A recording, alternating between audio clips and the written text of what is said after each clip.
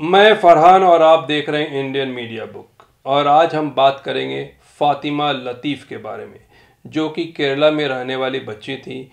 उम्र 19 साल और 9 नवंबर को उन्होंने सुसाइड कर लिया आईआईटी मद्रास में। इसके ऊपर हम बात करने के लिए हमारे साथ जाकिर भाई हैं। जाकिर भाई से डिटेल लेंगे कि ये हादसा कैसे हुआ।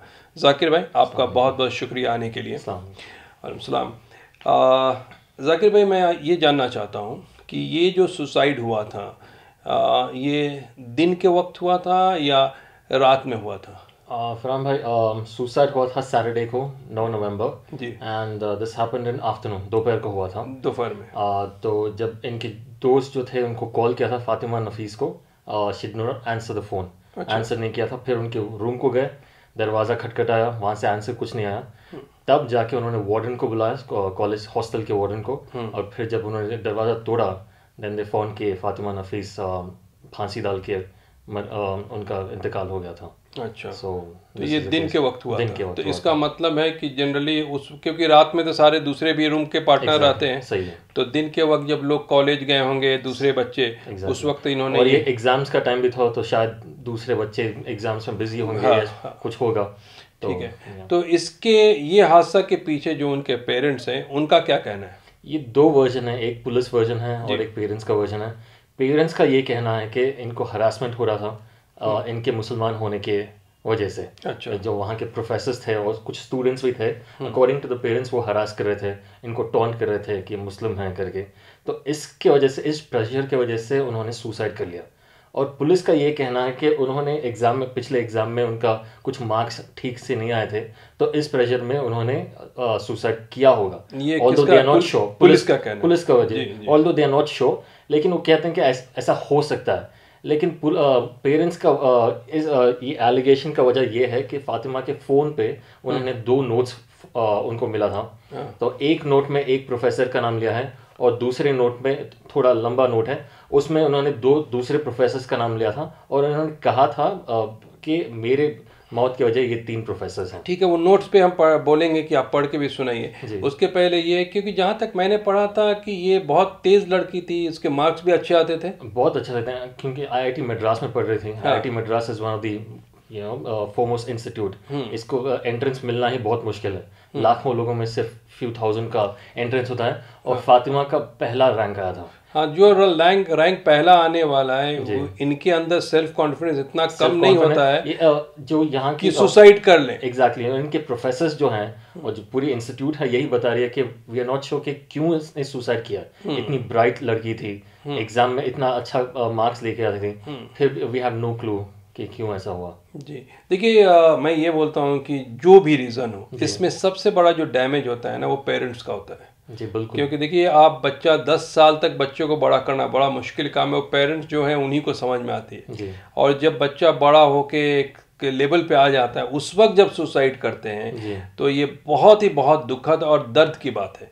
वो जो पेन पेरेंट्स को हो रहा होगा वो किसी और को समझ में नहीं आ सकता है। तो मैं तो डेफिनेटली जो भी ऑर्गेनाइजेशन इसमें है या I T I T Madras है और पुलिस है इसकी तहकीकात सही से करनी चाहिए कि आप बच्चे को तो वापस नहीं ला सकते हैं। लेकिन जस्टिफिकेशन करके अगर इसको सही रिज़ल्ट लाया जाए कि कौन है किसके वजह से हुआ है तो एटलीस्ट पेरेंट्स की थोड़ी खुशी हो सकती है। एग्जैक्टली और पेरेंट्स ये बता रहे थे कि आई मीन जब सैटरडे को हुआ था अ, वो सेटिस्फाइड नहीं थे कि जो इन्वेस्टिगेशन हो रहा था।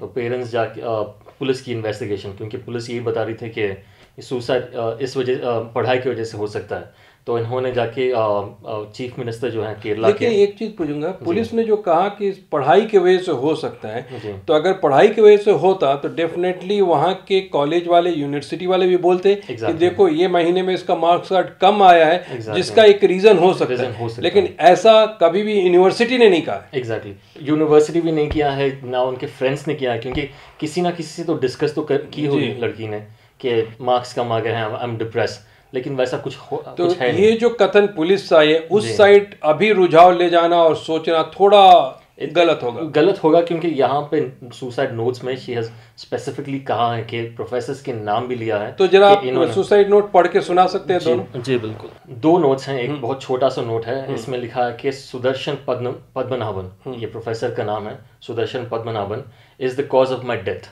अच्छा। इसमें एक नोट है और दूसरा वाला नोट है इसमें लिखा है आ, मैं पूरा नोट आपको पढ़ के सुना सुनाता हूँ। It says in the case of my death this should be considered as my last non non cupitative statement I never realize that I would miss my home so much I abhor this place how I yearn for my home to be suspended in the delicious inertia like an interminable sleep from which I can never be roused in the case of my death the whole blame will be unremittingly upon mister Hemchandran Kara and Mr. Milind Brahme. अच्छा तो ये suicide note है। इसमें you can see एक एक depress लड़की का note होता है। बिकॉज़ शी सेट के मैं इस जगह मतलब आई आई टी मेड्रास जो भी कॉलेज है शी हेट्स द प्लेस मैं इसको नफरत करती हूँ। और मैं अपने घर को जाने के लिए तरस रही हूँ. ये दो चीज़ें हैं and she at the end blames दो प्रोफेसर दूसरे नोट में और और एक प्रोफेसर को। क्योंकि इसमें कहीं इसने ये नहीं लिखा है कि मेरा मार्क्स कम हो गया है और कुछ हो गया है और रिलीजियस डिस्क्रिमिनेशन भी नहीं बताया है। हाँ। लेकिन पेरेंट्स का कहना कि इन्होंने ज़िक्र किया था इससे पहले हाँ। कुछ अरसे पहले कि ऐसा है। सो दे बिलीव दैट कि रिलीजियस डिस्क्रिमिनेशन की वजह से तो एक ही इसकी तहकीकात बहुत ज़रूरी है। क्योंकि देखिए ये क्लियर कट दो तीन लोगों का नाम लिया जा रहा है। अब वो किस वजह से है वो नहीं पता चल रहा है। तो इसलिए एक सही तहकीकात होनी बहुत ज़रूरी बहुत ज़रूरी है और कुछ कहना चाहेंगे सी आई टी मद्रास में ये पहला सुसाइड नहीं है। अच्छा। For the past few months ये सिक्स सुसाइड है सिक्स या फिफ्थ सुसाइड है। हम्म। इससे पहले भी बहुत सारे आई मीन पाँच या छः बच्चे सुसाइड हम्म। किए हैं। और सिर्फ़ आईआईटी मद्रास ने बहुत सारे ऐसे इंस्टीट्यूट्स हैं अक्रॉस इंडिया कोटा है जयपुर में जहाँ पे I mean it's one of the foremost institute यहाँ पे लोग बच्चे ये जो कम्पिटेटिव एग्ज़ाम्स हैं आई हैं या आईआईटी हैं इसको सीखने के लिए वहाँ पे इंस्टीट्यूट में पढ़ने आते हैं। हम्म। और हर साल न जाने कितने लोग बच्चे वहाँ पे सुसाइड करते हैं ड्यू टू प्रेशर और जो भी है। So I mean we need to look into this seriously और ये जो रिलीजियस डिस्क्रिमिनेशन का एंगल जो आ रहा है हम्म। रोहित वेमला जो दलित स्टूडेंट था जो हैदराबाद के यूनिवर्सिटी में ही हैड कमिटेड सुसाइड ये भी रिलीजियस और कास्ट डिस्क्रिमिनेशन की वजह से था। एंड इट हैड ये एक बहुत बड़ा मूवमेंट हुआ था स्टूडेंट का मूवमेंट फिर जेएनयू ये सब हुआ था। और नजीब है जो ऑलमोस्ट दो साल से मिसिंग है जे एन जे में। और ब्लेम जा रहा है कि हिंदुत्व एलिमेंट्स ने किडनैप किया था और कुछ किए होंगे करके। उसका भी इन्वेस्टिगेशन का कुछ पता नहीं चला। सो so, ये जो मामला है रिलीजियस डिस्क्रिमिनेशन या कास्ट डिस्क्रिमिनेशन का जो मुसलमानों के खिलाफ जो दलित के खिलाफ हो रहा है इतने हायर इंस्टीट्यूट्स में। इसको सीरियसली देखना बहुत ज़रूरी है कि क्यों ऐसा हो रहा है। क्योंकि एक तो I mean everyone knows कि हमारी जो एजुकेशन लेवल जो है स्टेटस जो है इंडिया में बहुत कम हो रही जा रही है। हम्म। और उसमें जब हमारे बच्चे यहाँ पे पढ़ने जाते हैं हम्म। अगर ऐसा डिस्क्रिमिनेशन वहाँ पे भी हो then who I mean we need to look into this very seriously. At least university, college, school को इन सब चीज़ों से तो बच के रहना चाहिए ये सेफ़ स्पेस होना और चाहिए शायद गवर्नमेंट को बहुत स्ट्रांग रूल एंड रेगुलेशन बनाना चाहिए exactly. कि अगर हादसे ऐसे हो भी जाते हैं तो फास्ट ट्रैक के ऊपर इसका पता चले और जो लोग इसमें इन्वॉल्व हैं उनको पूरी तरह से सजा मिलनी चाहिए। और एक बात बोल जैसे ragging discrimination and their laws बहुत स्ट्रॉन्ग रैगिंग के अगेंस्ट लॉज हैं। हम्म। वैसे रिलीजियस डिस्क्रिमिनेशन के अगेंस्ट भी बहुत सारे स्ट्रॉन्ग लॉज होने चाहिए।